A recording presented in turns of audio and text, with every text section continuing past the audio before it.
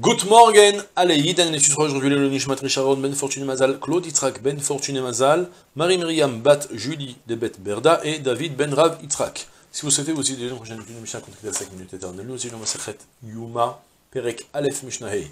Mesaru Zikne Bet Din le Zikne Kehuna, Vehe Eluhu le Laliat Bet Avatinas.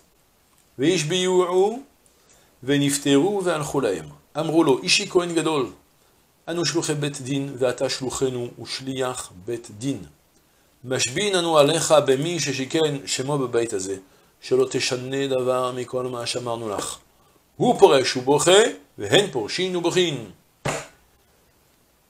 On est toujours dans les sept jours qui précèdent le Yom Kippour où le Kohen Gadol l'a invité.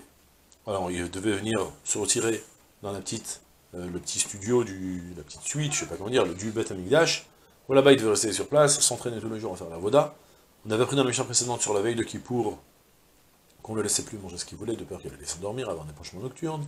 À présent, la Mishnah me dit sache que depuis le matin, en fait, de la veille de Kippour, Mesaruhu Zikne Bet Din, vous vous rappelez qu'on avait vu dans la Mishnah Gimel, qu'on avait évoqué qu'il y avait des sages du Bet Din qui étaient là et qui lui rappelaient, qui lui enseignaient tout le rituel de Yom Kippour.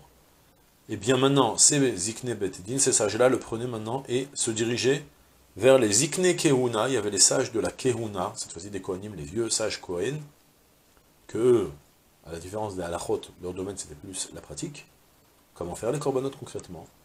Et tous ensemble, Ve'eluhu le Aliyat Bet Avtinas, on le faisait monter à la petite euh, Aliyah, j'ai pas le mot traduction, le petit, euh, le grenier de Bet Avtinas, il y avait là-bas une, petite salle, une petite, euh, comment dire, un petit grenier aménagé, où c'était la maison de Avtinas, Beth Avtinas. Avtinas, c'était la famille qui s'occupait de faire l'actorette. Ils avaient les grands secrets, comment préparer l'actorette. C'était toute une histoire, on l'apprendra, à la fin de ce chapitre, euh, dans la fin du chapitre Beth plutôt, je crois. On évoquera le, justement Beth Avtinas plus dans les détails. C'était ceux qui étaient concrètement, qui, étaient, qui avaient la, grande massorette, comment faire pour que l'actorette, comment les mélanger exactement, quelle, quelle, quelle, herbe choisir, de manière à ce qu'il y avait l'actorette qui montait droit jusqu'au plafond, et puis qui s'étalait ensuite, il fallait mettre dedans ce qu'on appelle du mal et achan, quelque chose qui a un combustible supplémentaire en plus des 11 sémanimes de l'actorette, qui faisait que justement que la fumée se dispersait de la sorte. Donc on l'a porté à la maison de Avtinas, où là-bas il y avait l'actorette. Un des grands travaux de Yom Kippour, justement, c'est l'actorette. Peut-être je fais une petite pause pour vous expliquer concrètement comment ça se passe. Tout un rituel complexe, qu'on détaillera plus dans les détails, mais tous les jours, on apporte une petite quantité de un mané pour toute la journée, la moitié le matin, la moitié l'après-midi, on faisait une encens sur le misbeach apnimi, sur le misbeach en or qui était à l'intérieur du Hechal. À Yom Kippour, en plus de, ce, de cet encens à brûler, il y avait une encens supplémentaire. Il fallait prendre Melo Chofnaim, deux mains, qu'il fallait entrer, qu'il fallait partir dans le Kodesh on n'est plus dans le Echal, on est encore plus profond, on est devant le Haron Abrit, ou Evan euh, comment on apprendra tout ça, bien sûr?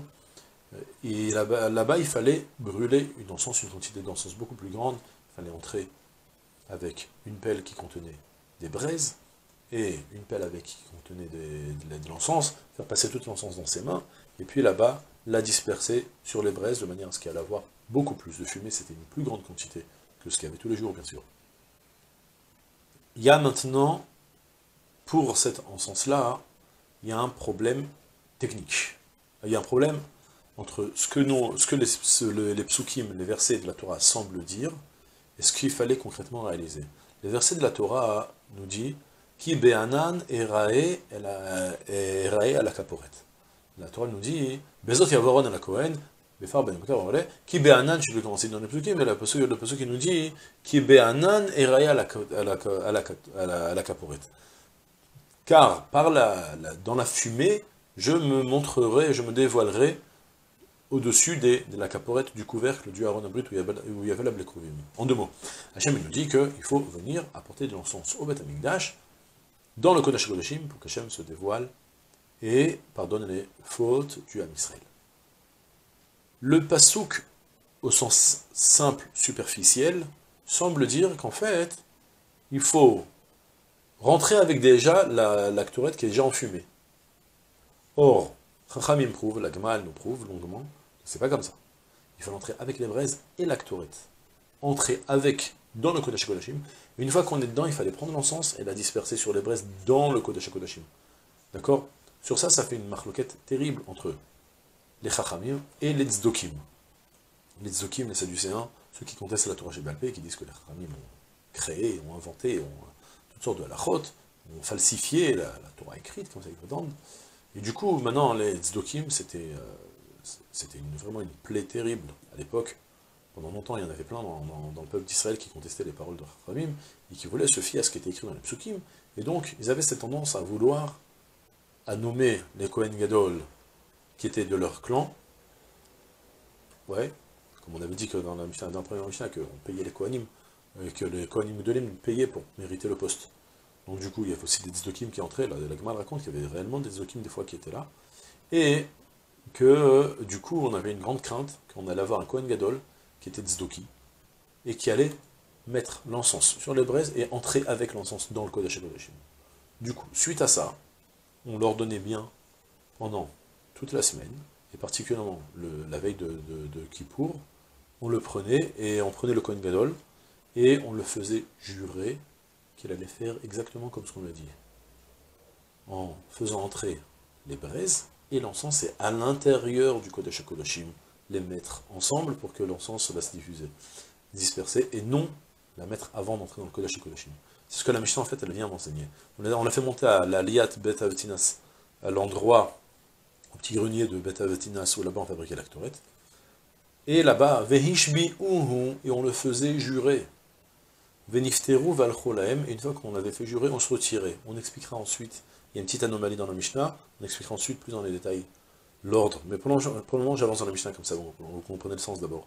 Donc on le faisait jurer, et puis une fois qu'on avait fait jurer, on se retirait, et Nifteru, on, on lui disait, bon, on se saluait, et Valcholaem, et on se retirait. Ve'amrolo, et pendant qu'on a fait jurer, donc on vient un petit peu en arrière, on lui avait dit de la sorte, Ishi Kohen Gadol, Monsieur le Kohen Gadol, Seigneur Kohen Gadol, je sais pas, le mot Ishi, c'est comme Adoni, c'est encore plus fort. Anouch Bedin, on lui disait, nous, on est les délégués, les délégués, les émissaires du Betedin. Sache que toi, tu es notre délégué, et le délégué du Betedin pour faire la avoda du Betemigdash. Mashbiin anu alecha, nous te faisons jurer, nous t'assermentons. Bemi shashiken shemo babait au nom de celui qui a fait résider sa shrina dans cette maison, que tu ne changeras rien de tout ce que l'on t'a dit de faire. Tu procéderas exactement comme ce qu'on t'a dit, et tu ne changeras pas l'ordre, entre parenthèses. Tu ne t'amuseras pas à vouloir mettre la chlorette sur les braises avant d'entrer dans le Chine. Entre parenthèses, il n'y a personne qui pouvait voir ce qui se passait à l'intérieur, parce que tout le monde avait le devoir de se retirer à l'extérieur complètement. On ne voyait pas le Kohen Gadol entrer dans le Kodesh ni dans le Echal. Donc du coup, on te fait jurer que tu ne changes rien de tout ce qu'on a dit. Une fois qu'on a fini ce rituel, de le faire jurer plutôt, alors, ou poresh ou boché, ven porshin ou bochin. Il se retire et va pleurer dans son coin, et eux se retirent, ceux qui l'ont fait jurer, se retirent, porshin, se retirent, ou bochin aussi, ils vont pleurer dans leur coin. Bon, vous avez compris l'idée, il y a plein de flou malgré tout dans cette Mishnah. En deux mots, on va le faire jurer le Kohen Gadol que c'est pas un tzdoki. Donc vous prenez quelqu'un qui a apparemment une belle barbe, des belles péotes, un beau chapeau, vous lui dites, bon écoute, euh, je crains qu'en fait en réalité par derrière tu es, euh, complètement raté. Que c'est une situation un petit peu délicate. Maintenant, on n'a pas le choix de le faire, on n'a pas le choix de le faire. Il faut savoir que la Gemara elle rapporte à Rochet Bekshirim Loke Begoufo. Si vous vous mettez à soupçonner quelqu'un de, de de le soupçonner de faire des avérotes, il faut savoir que, du ciel, on punit violemment. L'okebe goufo, la nous dit, ça rapporte dans le Barthénora. Rochet Bekshirim l'okebe goufo. Du ciel, on, l'a puni, on punit une personne qui se met à craindre de trop les gens. Vous savez que la Torah on dit Rajdeu et Abdou, craint et respecte extérieurement, de manière générale, n'importe quelle personne, ne soit pas trop, euh, trop simplé, trop, euh, ne crois pas trop vite tout ce qu'on te raconte, mais malgré tout, c'est un grand, c'est très délicat de mettre en doute la crédibilité d'une personne on peut être résolu. Donc du coup, nous on n'avait pas le choix parce qu'on s'est retrouvé réellement avec des cas de situation de Tzdokim qui ont fait rentrer l'actorette à l'envers, la raconte, entre parenthèses, qu'il y a eu un, un Kohen Zdoki qui avait fait ça, et quand il est sorti, il en était tout fier, il y a eu un serpent qui est venu, qui l'a, une, des, une des un serpent qui est venu, qui l'a, mordu, il y a une autre interprétation qui dit qu'en fait il y a eu un ange du ciel qui est venu, qui lui a mis un coup sur la tête, pendant qu'il était dans le Kodesh Kodashim. Donc, nous on a cette crainte, du coup, on n'a pas le choix, on te fait jurer, mais sache que, une fois qu'on te fait jurer, on doit se retirer dans notre coin, et pleurer sur le fait qu'on prie en chaîne en disant, j'avais pas le choix, j'étais obligé de le faire jurer parce qu'on n'a pas le choix.